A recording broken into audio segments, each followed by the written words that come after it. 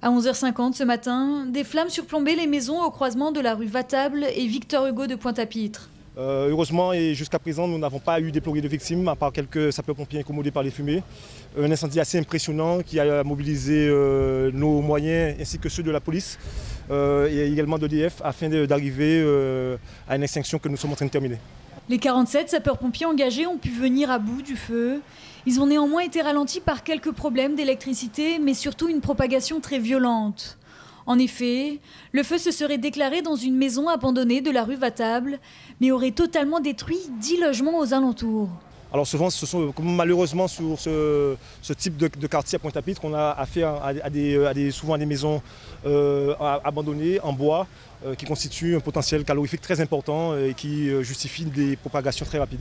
Plus de 40 fonctionnaires de police ont également été mobilisés.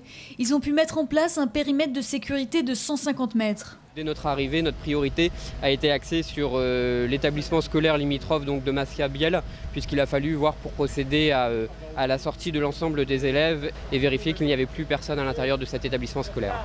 Pour la ville de Pointe-à-Pitre, c'est encore un coup dur. Les incendies se succèdent. Un incendie, c'est toujours regrettable. Ce que j'espère, c'est qu'il n'y ait pas euh, de blessés dans la circonstance euh, et nous verrons plus tard.